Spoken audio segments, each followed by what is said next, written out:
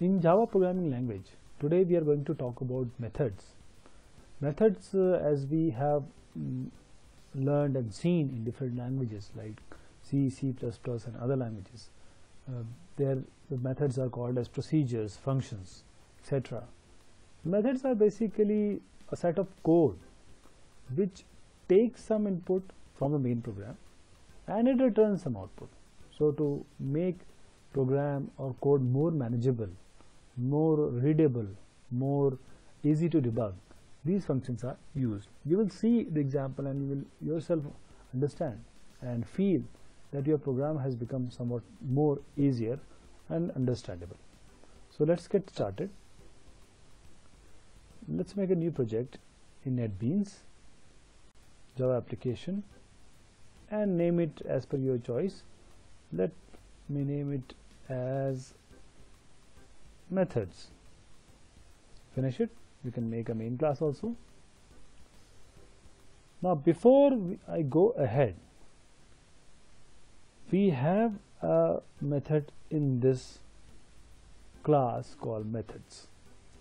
The class we, we just made this already contains a self-explanatory and default method which is called as main. This main is a method. How do you find or how do you indicate that uh, some name is a function? It is actually followed by round brackets. So main has round brackets in front of it. It is the function. What is a function? What is a method? It takes certain input. These these are the inputs or this is the input. There is only one input. And the return type is this the word which is just preceding the function name is what it is a return type or it is what the function returns. So main takes this input and this is the output. Let me make another function and we don't have to go anywhere else because we can write function straight away because main function is already written here. So we don't have to go anywhere else because in C uh, we make a main and then we go uh, to either the end of uh, the braces of main or above the main. Here we don't have to go there and it means you can start making your function here itself. Let us make a function to square value okay? So let's give it a name. You have to give a uh, give a name to the function then as I earlier indicated that you have to pass some value. Means you have to tell the function that you have to square this particular value. You have to square this and give it to me.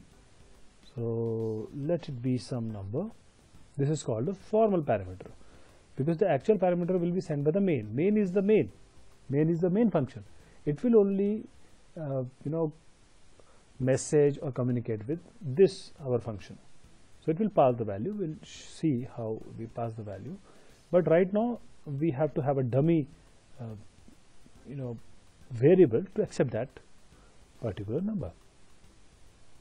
This is the return type you know square of two integer or one in square of uh, integer multiplication of that two values what it will give? It will give you an integer only. So this is a return type I am speaking it again and again because these two are the most important thing. This is the input this is the output.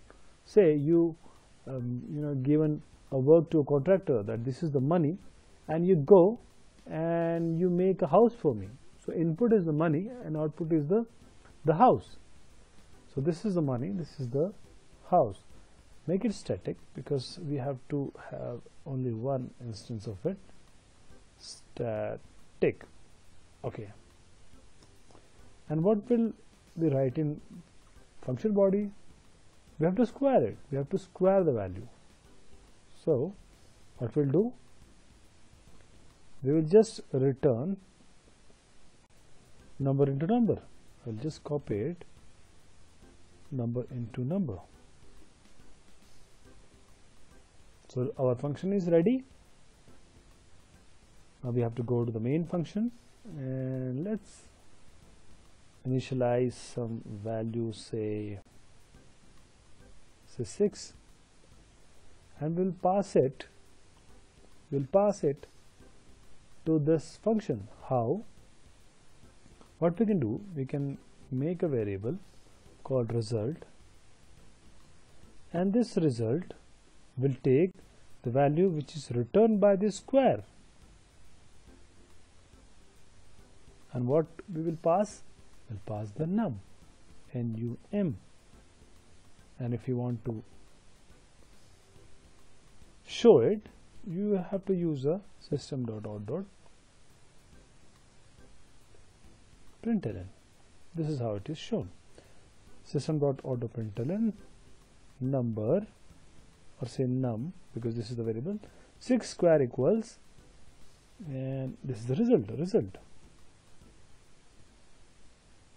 now we are ready to run the program.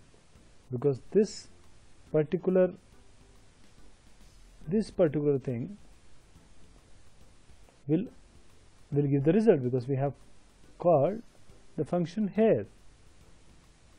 So it should give 36 6 square equals 36 now I don't want to use these two lines. I want to print I want to print the say result in system dot out dot println only. So what I'll do I will just change this and I will place square number means num will pass here itself. You know num is 6 it will go here. This is a formal parameter. Number into number that is 6 into 6 and return is int. So the return value will be placed here. And that will be printed in system.out.println 6 square equals 36 you see how easy it is to make a function? Okay I'll just make one other function. To cube. And you know how to change? I'll just name it as cube multiply one more number. This number into number into number is cube and what I'll do is I will copy paste this line. And rather than calling square I will call cube. And you'll see that this particular line will show the cube this will show the square. So 6 square equals 36 and 6 into 6 into 6 is 216 so this is the simplest method which we can make and this is how the main program calls the function and there are various things which are there. These are formal parameters these are the actual parameters and I purposely named them differently number and num because I can name them number also that will not have any effect if I give it as number of num to number because both the variables that used in the function and that used in the main can be similar or they can be different. So thank you so much. Hope you understand the usage and application of methods in Java. Thank you so much